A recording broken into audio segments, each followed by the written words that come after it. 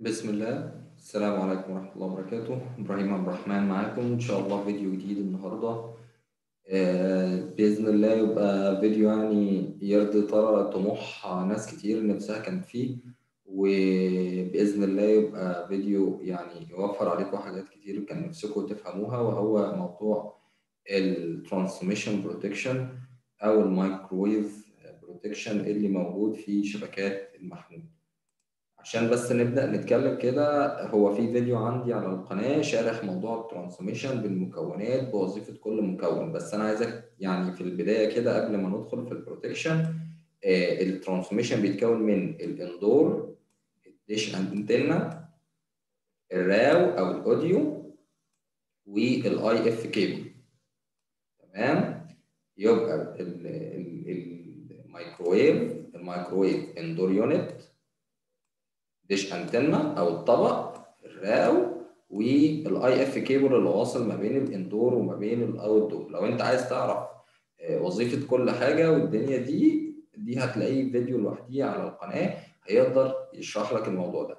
طيب تعالوا نتكلم بقى عن قصة ال microwave protection اللي موجودة بشوية رسومات كده ظريفة أنا حاولت أوصل بيها بس الموضوع. ال microwave protection ده بيتعمل ليه وعلى أساس إيه؟ ده بيتعمل عشان حاجتين.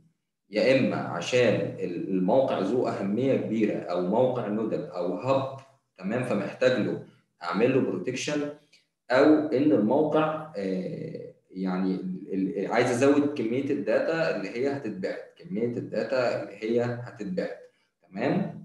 لأن زي ما أنتم عارفين ال transmission هو وسيلة الربط ما بين المواقع وبعضيها لحد ما توصل لل BSC فتعالوا يعني في البداية بس أعرفكم الرسم اللي أنا راسمها دي عبارة عن إيه؟ دي عبارة عن أدي ال RAU اهي وأدي ال dish antenna أهو المكونات اللي إحنا لسه قايلينها وده ال IF cable خلاص؟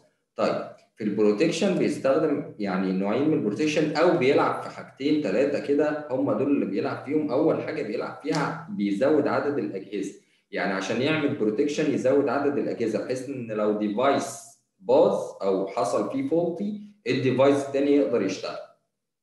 الحاجات التانية اللي بيستخدمها في عملية البروتكشن أو عملية زيادة الداتا ريت أو نقل الداتا هو البولاريزيشن والفريكونسيز. البولاريزيشن والفريكونسيز دي الحاجات اللي بيقدر يغير فيها كل شوية عشان يقدر يظبط عملية البروتكشن. تعالوا نتعرف عليهم نوع نوع وما تقلقوش وفي الآخر بإذن الله هديلكم مقارنة بسيطة جدا. توضح لكم اللي أنا بتكلم فيه وركزوا معايا لأن دي موضوع أسئلة interviews كتير جدا غير إن ناس كتير شغالة في ال field وبرضه ما عندهمش المعلومة كاملة. النوع الأولاني اللي اسمه ال1 plus 0 1 plus 0 ال1 plus 0 دي معناها إيه؟ ده unprotected system.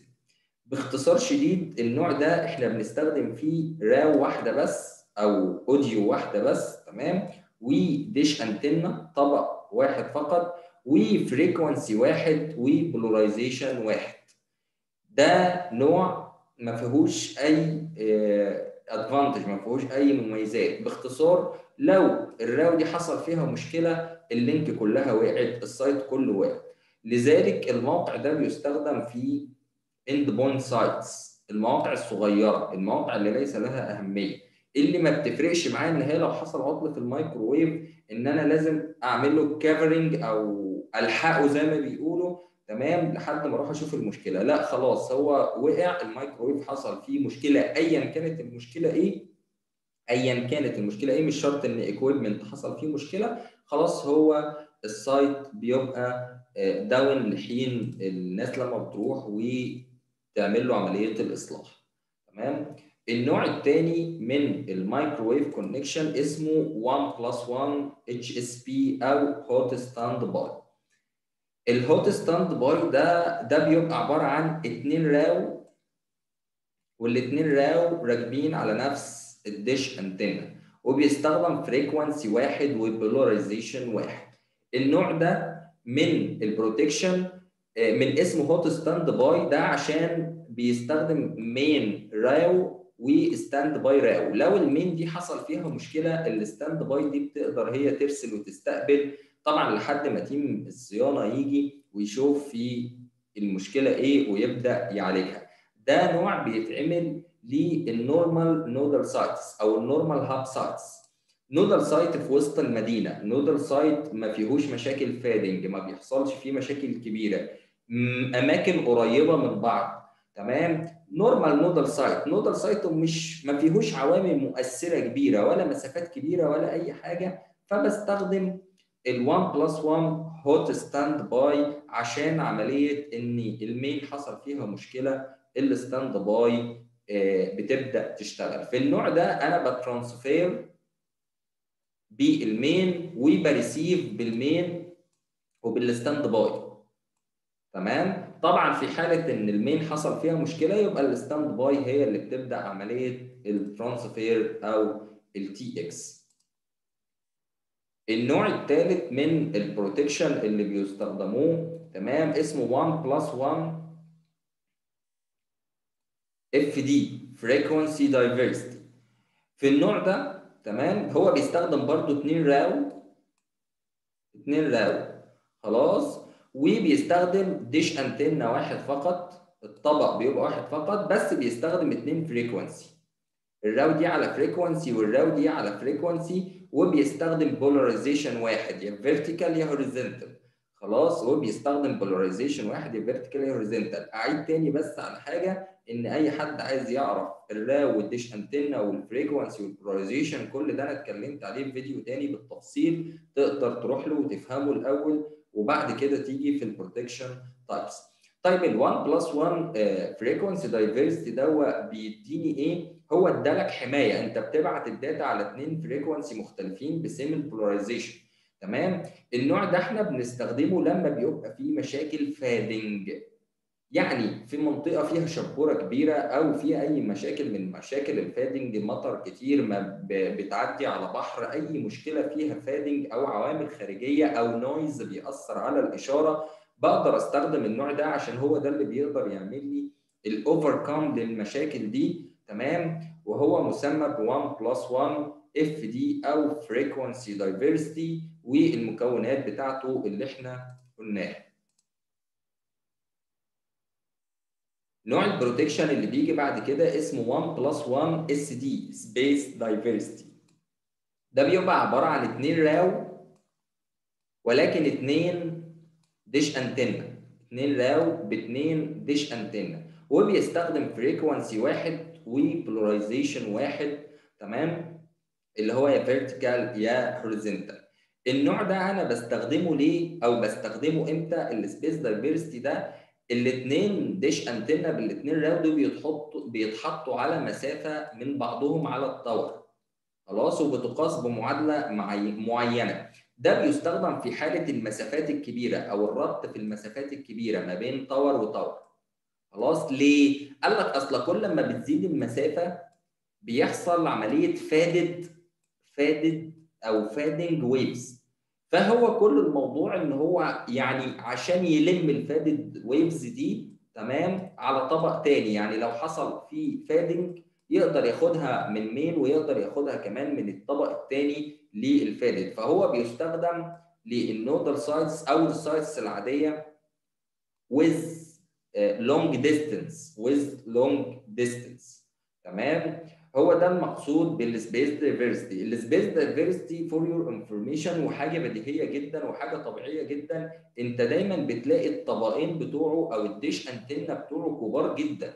ليه؟ ما هو أساسا system بيستخدم لل long distance للمسافات البعيدة. يبقى إزاي هيبقى مسافة بعيدة وال dish antenna هيبقى صغير؟ وإحنا كنا اتكلمنا قبل كده إن كل ما المسافة المسافة زادت أو كل ما طول الموج زاد لازم بيزيد قصاده الحجم أو ال diameter أو القطر بتاع ال dish antenna تمام؟ لذلك في ال space diversity دايما بتلاقي الاثنين dish antenna بتوعه كبار جدا عشان المسافة بتبقى كبيرة. نوع تاني موجود من قصة ال protection للمايكروويف أو بمعنى أصح عشان أزود ال data rate أو آخد band أكتر أو آخد waves أكتر إن أنا أنقل عليها data بدأ يظهر ال XPIC فاللي إحنا هنتكلم عليه دلوقتي اللي هو 2 plus 0 XPIC أو cross polarization interference cancellation ال XPIC هو ده اختصار. مبدئيا لما أقول لك 1 plus 0 زيها زي 2 plus 0 تمام؟ زيها زي 4 plus 0 أي حاجة plus 0 دي معناها إن مفيش protection ال zero ده معناه إن مفيش protection لكن لما أقول لك 1 plus 1 تمام؟